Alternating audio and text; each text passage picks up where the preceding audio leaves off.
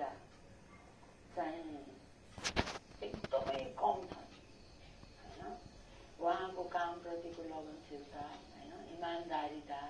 उहाँले जे गर्नुहुन्छ त्यो काम चाहिँ हन्ड्रेड पर्सेन्ट डेडिकेट भएर त्यो कामप्रति जुन लागि मरि मेटेर दिनरात त्यो मतलब छैन खानाको पनि चिन्ता हुँदैन उहाँलाई केही सुत्नु पनि पर्दैन कुनै एउटा काम दिनमा लागेको छ भने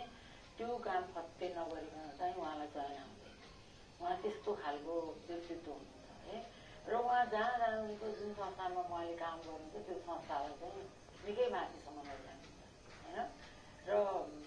पर्सनली पनि उहाँ चाहिँ एकदमै प्रष्ट वक्ता भएको देखेको कुरा सट्ट भन्ने मनमा त्यसको केही नराख्ने र सत्यको लागि लाग्ने को लागि चाहिँ जोसँग पनि जुझ्नु पऱ्यो भने जुधिहाल्ने तर त्यो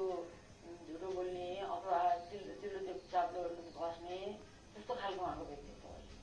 र हाम्रो जस्तो देशमा चाहिँ शान्तालक्ष्मी श्रेष्ठ जस्तो व्यक्तित्वहरू सयजना जति महिलाहरू हुने हो भने हाम्रो महिलाहरूको यहाँ काया पल्टिन्थ्यो होला होइन तर अब उहाँ जतिको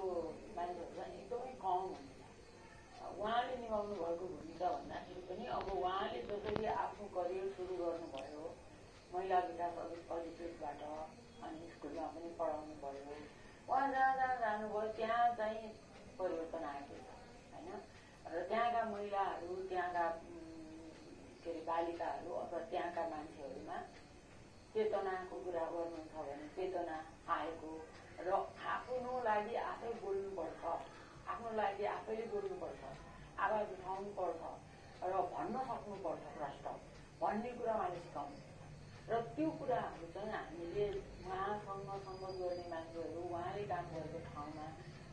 बाट जुन ठाउँमा उहाँले काम गर्नु त्यहाँका मान्छेहरूमा त्यो परिवर्तन आएको छ होइन र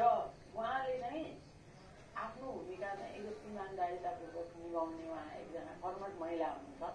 पेसागत र पारिवारिक कर्म जीवनको अपरिहार्य अनि अलग पाटो हो व्यक्तिगत र पारिवारिक तहबाट माथि उठेर काम गरिरहँदा पारिवारिक जीवन केही प्रभावित बन्छ नै